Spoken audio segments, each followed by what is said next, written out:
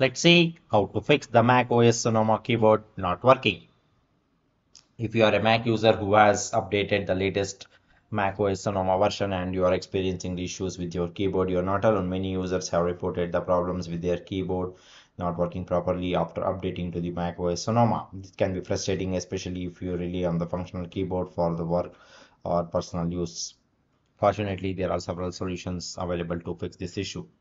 So let's see how to fix the Mac OS Sonoma keyboard not working. The first method is check for the updates. Make sure your Mac OS Sonoma is up to date by checking for the updates in the App Store. If there are any updates available, download and install them. Click on the Apple menu in the top left corner of the screen. Select App Store from the drop down menu. Click on the updates in the toolbar at the top of the App Store window. If there are any updates available, click on Update next to the Mac OS Sonoma update. The second method is restart your Mac.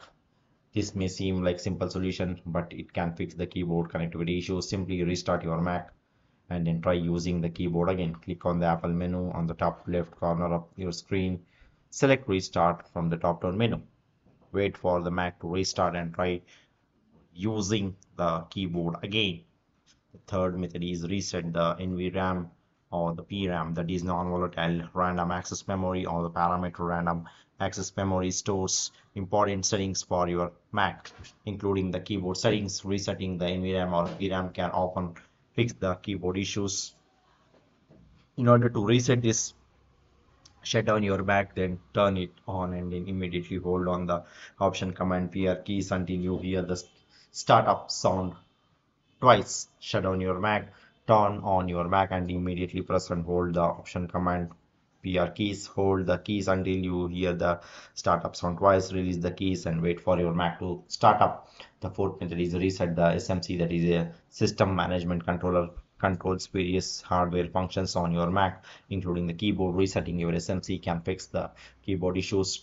To reset the SMC, shut down your Mac and then press and hold the power button to 10 seconds. Reset the power button and then turn on your Mac shut down your Mac, press and hold the power button for the 10 seconds, release the power button and then turn on your Mac.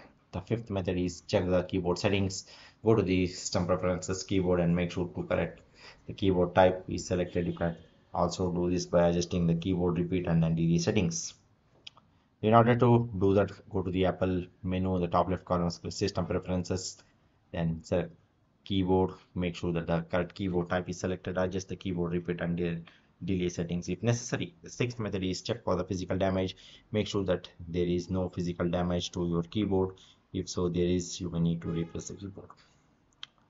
Okay. So that's all about this. Thank you